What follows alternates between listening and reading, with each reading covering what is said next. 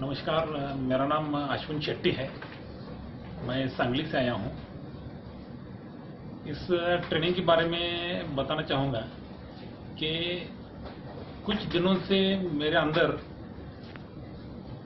पैसा कमाने की बहुत तीव्र इच्छा, चाहत पैदा हो गई।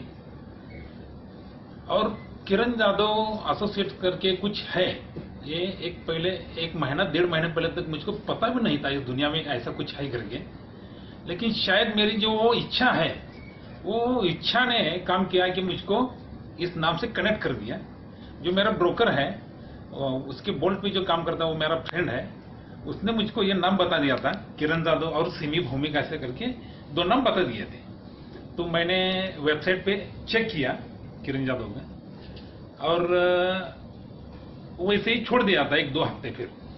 फिर मेरे अंदर फिर से एनर्जी आ गई तो मैंने उसका, उसके अंदर सीआरएम का नंबर ढूंढा और उसको कॉल करने का डेयरिंग किया।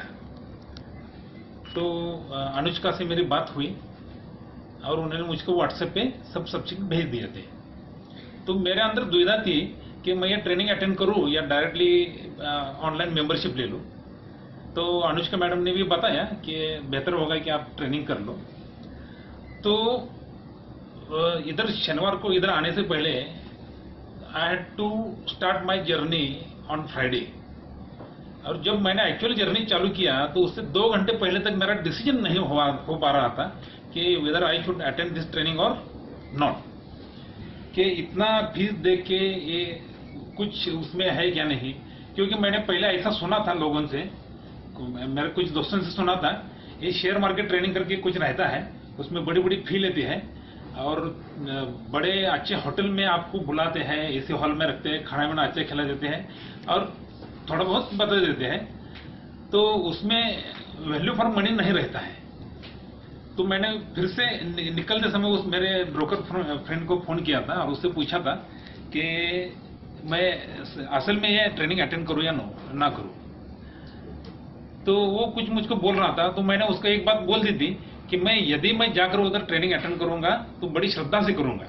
तो उसने बोला कि बस, तू श्रद्धा से करना है तो तू जा ले। एंड आई केम हियर इधर आके सबसे अमेजिंग क्या लगा कि केलकर सर ने या किरण दादा एसोसिएट ने ये बता दिया मुझको कि फंडामेंटल और टेक्निकल एनालिसिस में क्या डिफरेंस है। और फंडामेंटल में आपको कतई जाना नहीं है। और जो टेक्निकल एनालिसिस दो दिन में मैं सीखा हूँ, अभी तो पूरा का पूरा हंड्रेड परसेंट रिकॉल भी नहीं हो पा रहा है। मुझको जाके प्रैक्टिस बहुत करना पड़ेगा, ये मेरे ऊपर प्रेशर है। तो मैं पहला सलाम करता हूँ, जिसने भी टेक्निकल एनालिसिस की थ्योरी निकाली है, उसको सलाम करता हूँ। और मैं मुझको बहुत बड़ा प्रेज करता हूँ, मैं किरण जाधव सर को और किलकर सर को भी, कि ये टेक्निकल एनालिसिस थ्योरी आपने इतने अच्छी तरह से पढ़ी है, इतना उसके ऊपर काम किया है।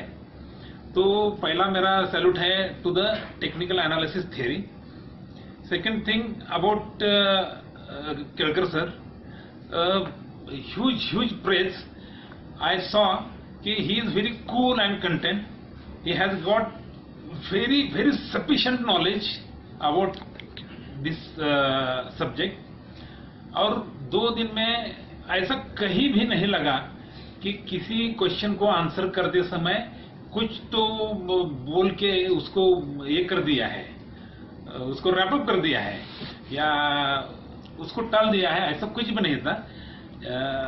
He had exact answer to each and every question और अभी तो बहुत अच्छा लग रहा है एक्साइटेड लग रहा है कि करना है और पैसा कमाने का ये अच्छा वे मिला है।